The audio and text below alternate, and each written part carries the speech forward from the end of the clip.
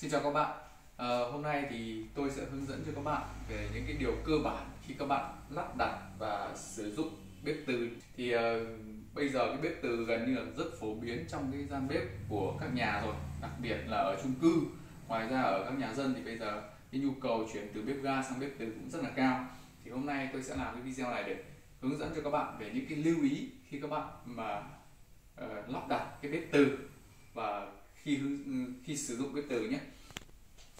Thì khi mà lắp đặt bếp, bếp từ ấy cái điều đầu tiên các bạn cần lưu ý đấy là về cái vị trí vị trí lắp đặt. Thì các bạn lắp đặt làm sao để cho cái bếp từ này có một cái khoảng khoảng không ờ, nhất định. Nó tức là ừ, so với vị trí của tường này so với vị trí của các vật bên cạnh. Ví dụ như bên cạnh thì các bạn thường sẽ có là các cái chỗ để nồi cơm hoặc là cái vòi chậu thì làm sao mà cái khoảng cách của nó cho phù hợp thì đối với tường ấy thì cái ờ, khoảng cách tối thiểu của bếp từ cách tường ấy là phải được ừ, tầm 5 cm nhé. À, còn rộng hơn thì càng tốt. Để nó giúp nó tránh bị uh, hấp hơi nóng vào tường hoặc là bị uh, các cái hơi nước từ tường nó đổ ngược lại vào bếp thì nó sẽ dẫn tới là cái việc han dỉ và thứ hai là về cái lưu ý về điện áp khi các bạn lắp đặt nhé cái điện áp của các bạn ấy, đầu tiên là các bạn phải chú ý đến cái công suất của bếp để lựa chọn được cái ờ, cái cái cái đầu trở dây nguồn phù hợp. Thì ví dụ như cái con bếp này, đây, cái con bếp từ đôi này nhé thì các bạn nhìn vào cái phần thông số kỹ thuật của bếp từ nhé thì các bạn sẽ nhìn thấy ở đây là có cái tổng công suất của bếp là 4.800W đấy, thì thì ừ, ờ, ở đây nhé mình có một cái bảng bảng mà người ta đã tính sẵn cái cái cái công suất chịu tải của dây dây điện này. Các bạn có thể lựa chọn là để cho phù hợp này. Lát nữa mình sẽ ừ, up ở lên cuối video nhé. Đấy, thì được. Uh, đối với cái công suất của bếp mà tầm uh, tầm uh, nhỏ hơn hoặc bằng 5,6 kW ấy thì các bạn nên chọn cái dây dẫn dây dẫn nhé cái tiết diện dây dẫn là khoảng tầm 3 mm thì ở đây mình có một số kiểu dây dẫn như này. Đây. Thì là ừ, đây là dây ờ, dây loại đơn 2.5 nhé cái dây loại đơn 2.5 này thường là phù hợp cho các cái dòng bếp có công suất từ 3,8 kW đổ, đổ xuống này. Đấy. còn đây là cái dây có tiết diện là 4 dây loại đơn 4.0 uh, các thợ người ta hay gọi là dây loại đơn 4.0 thì nó chính xác nó là dây 4 mm mm vuông. Đấy thì là cái dây này sẽ phù hợp cho cái công suất. Như ở đây các bạn nhìn này. Đây.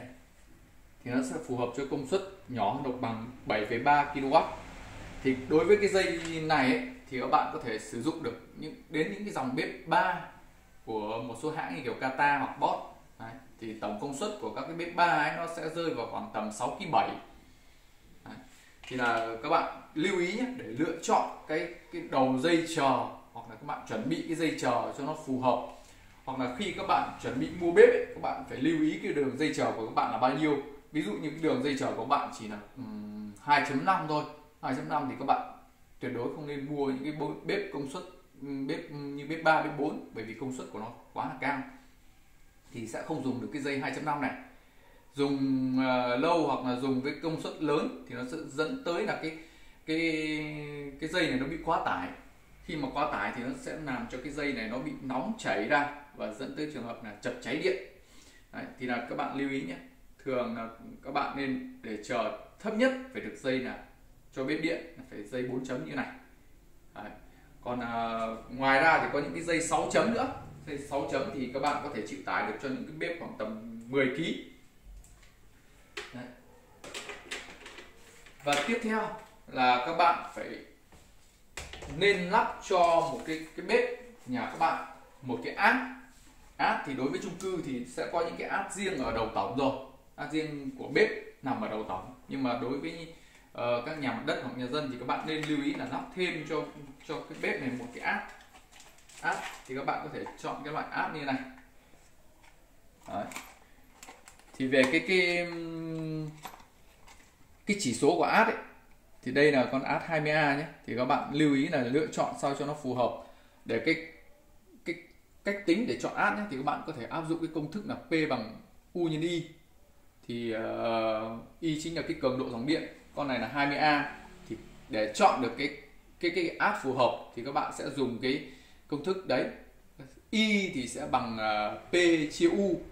Tức là đối với lại cái đối với cái ờ, bếp bếp này bếp tầm ờ, uh, 4.800W thì các bạn sẽ lấy 4.800W chia cái hiệu điện thế là 220V thì các bạn sẽ ừ, tương đương là nó sẽ ra sấp xỉ khoảng tầm ờ, 21 hơn 21 thì đấy là các bạn sẽ phải dùng cái áp khoảng tầm 25A thì nó sẽ phù hợp với cái dòng bếp này.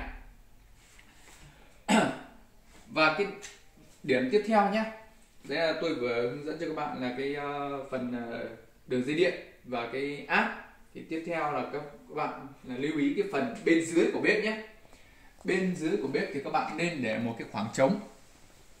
Khoảng trống. Khi mà làm nội thất ấy, thì các bạn uh, nhắc cái bên nội thất thì làm sao để cho phần dưới bếp này có một cái khoảng trống. Bởi vì phần dưới bụng bếp này, này là bao giờ cũng có các cái quạt tản nhiệt như này. Này hai bên là hai quạt tản nhiệt đối với dòng bếp đôi ngoài ra với những dòng bếp 3, bếp 4 thì nó sẽ có khoảng tầm 3 đến 4 quạt tản nhiệt khác nhau. Đấy, có thể là uh, quạt tản nhiệt cánh ly tâm như này hoặc là ừ, quạt tản nhiệt sò. Thì nó sẽ làm cho mát cái bụng bếp này trong cái quá trình các bạn sử dụng. Bởi vì trong quá trình sử dụng thì nó sẽ bên trong cái mạch bo mạch của bạn sử dụng này nó sẽ phát sinh nhiệt. Và khi khi đó thì các bạn dùng lâu một thời gian nhé nếu mà cái bụng bếp này của bạn bị bo kín nội thất họ làm kín như này thì nó sẽ dẫn tới là nó bị om nhiệt ở cái cái bo mạch này. Và lâu dài nó dẫn dẫn tới là bị bị cháy cái bo mạch đấy. Thì các bạn là lưu ý là khi mà lắp đặt thì cái khoảng không dưới cái bụng bếp này các bạn phải đặt cái khoảng không tối thiểu tối thiểu là khoảng tầm 10 đến 15 phân nhé. Đấy, 10 phân. Đấy, các bạn để cho có thể là thoát được cái nhiệt của cái bụng bếp này. Và đấy là cái phần uh, tiêu chí về vị trí lắp đặt và cái cách lắp đặt của bếp. Và tiếp theo là cái lưu ý về khi các bạn sử dụng bếp từ này. Đấy. thì đầu tiên là các bạn phải cái việc đầu tiên của bếp từ nhé là các bạn phải lựa chọn cái nồi nồi chuẩn từ. Cái nồi mà uh, dùng được cho bếp từ ấy thì trong các cái danh sách video mình đã up lên thì có những ừ, đã có cái video mà hướng dẫn cho các bạn chọn được cái nồi từ phù hợp rồi. Thì đấy thì là khi mà cái dùng cái nồi từ phù hợp thì nó sẽ sẽ đạt được cái công suất tối đa của bếp.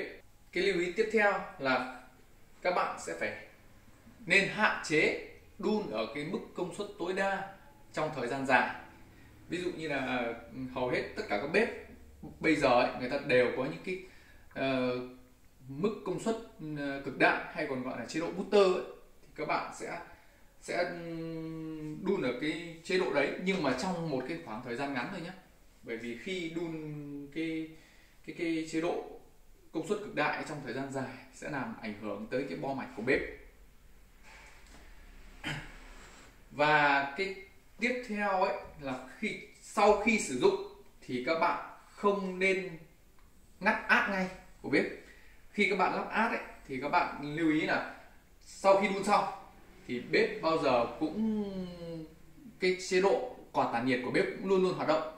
Và nó hoạt động cho đến khi nào mà cái phần bo mạch của bếp nó nó về cái giới hạn nhiệt độ tối thiểu, thì lúc đấy cái quạt nó sẽ tự nó ngắt. Thì các bạn tuyệt đối không nên ngắt át nhé. Sau khi đun xong, các bạn không nên ngắt át bởi vì là khi ngắt át như thế thì các bạn sẽ làm cho cái ờ, cái cái cái quạt nó dừng luôn. Và nó sẽ làm cho cái bếp của bạn là không tản được cái nhiệt nằm trong cái bụng bếp ấy ra nữa. Như vậy là trên đây là một số những cái lưu ý cơ bản mà ừ, mình muốn hướng dẫn, mình muốn giới thiệu cho các bạn về khi mà các bạn lắp đặt và sử dụng bếp từ. Cảm ơn các bạn đã theo dõi video. Xin chào và hẹn gặp lại.